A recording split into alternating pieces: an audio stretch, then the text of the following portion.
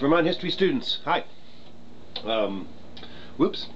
Um, so here we are, it's Unit 11. I'm making this on Monday, uh, and so it's kind of like already into the unit, so I'll just try to keep this really short anyway. Um, but just so you know, I mean, we are approaching the end of the semester, and there's a discussion question for Unit 11, which you need to finish by Wednesday, as regularly scheduled.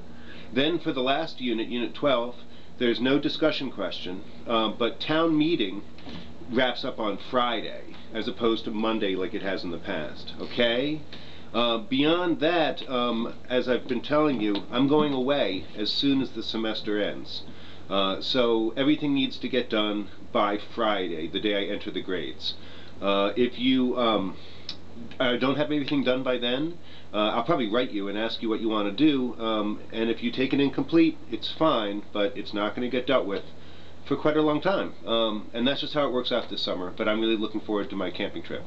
Uh, so that's all good, and also, um, at the end of this week, I will go over all of the discussion questions in all the town meetings and tally up people's contributions. And of course, your contribution to class discussion, your participation, is fundamentally what has made this course such a success. And uh, I'm very grateful for all of it, and I want to reward you for it. If you haven't um, contributed to a discussion question, even if it goes back to like Unit 2 or whatever, you can go back and add something now. Um, I, I certainly other students won't benefit from your intelligence and knowledge, but still um, you will um, uh, get the credit for it because you've thought about it and that's really the point. So, you know, if you want to fulfill all of your remaining sort of empty obligations that you need to do. Okay, uh, I think that's it, but as always, write me. Um, Unit 11 goes from the 1970 about to about 2002 and it's bookended by Act 250 and the Take Back Vermont movement. Now, Act 250 is this landmark land use uh, bill, a first of its kind around the country, comprehensively through 11 different standards in um, region, you know, the state's broken up into regions and it has environmental boards that then,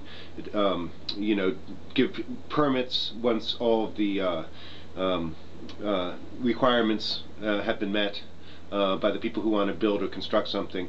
And uh, it's revolutionary. And um, obviously, in the years since then, there are people who desperately dislike it. Uh, there are lots and lots of people who like the principle of it, but have problems with different aspects of Act 250. But generally speaking, I mean, the principle is that Vermont needs to be in control of change. Vermonters need to direct that. Vermont has a vision of what the landscape should look like, of what its environmental health should be like, of what appropriate scale is. And that was the problem in the early 60s when Vermont was wide open. People were building like mega huge condo developments. And then you have to deal with the utilities, the water, the mail delivery, the schools, all of those things. And so, and, uh, and just the you know, besmirching the um, ruin ruination of the landscape.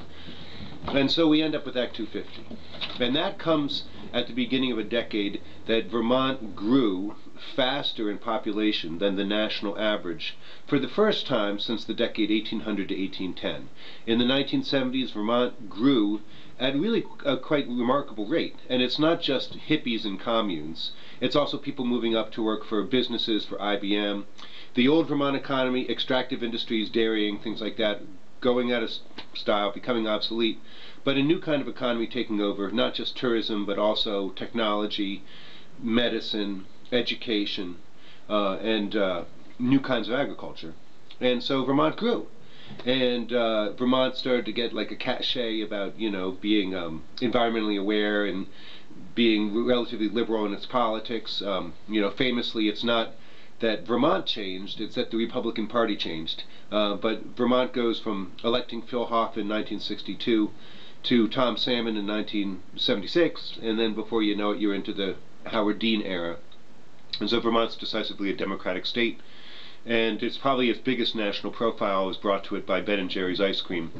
You know, um, to illustrate um, this, um, the nature of how Vermont now is dealing with this new um, its, its new um, structure, its new um, way of looking at itself, is I gave you a chapter from a book called Crossing to Safety.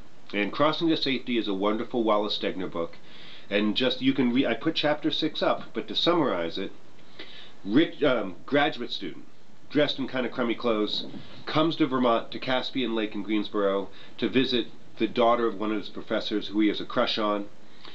The family of the professor are all upset because their summer home on Lake Caspian is about to um, see across the lake a huge development of roller skating rink and bunkhouses and uh, a movie theater and restaurants and all this. And it's going to ruin their view and make the lake really noisy and way too busy. And to make a long story short, uh, the guy Sid, the young graduate student, turns out to be extraordinarily wealthy. His dad was a big banker, and Sid goes and offers the farmer twice as much money that this syndicate was offering them uh, to develop it, and he's just going to leave it undeveloped, and the family's very excited, and Sid and Cher Comfort get married, um, but you know, you, we've gone from like the Gilded Age when downhillers wanted development and as much as possible, and uphillers wanted small farms well tilled, to now this stage where downhillers don't want development. They want Vermont to remain beautiful, but also uphillers now, especially with the decline of the dairy economy, they need jobs. They need development. I mean, who was going to work at the movie theater and the roller skating rink and the restaurant? The uphillers were. And so that's the dilemma in which Vermont finds itself which is if you have a huge amount of development, you ruin the state. But if you put a huge amount of cap on development, you make it a plaything for the rich. And so, is there the perfect balance in between? Well, my impression is that downhillers thought they were doing a pretty good job of accomplishing that balance in the 1990s.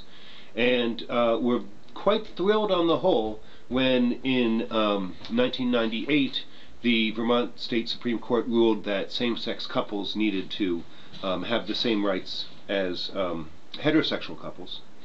And the product of that was civil unions, which downhillers thought was a perfectly democratic process. Uh, people went to the state house and had three minutes to say whatever they wanted um, in a couple sessions.